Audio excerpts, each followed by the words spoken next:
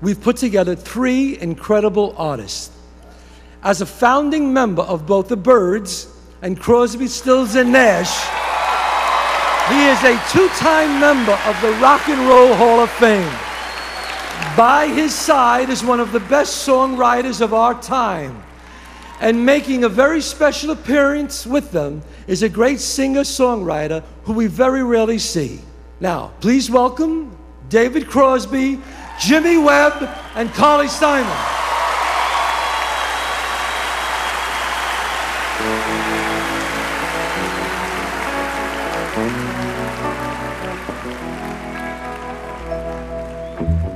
There's a world where I can go and tell my secret.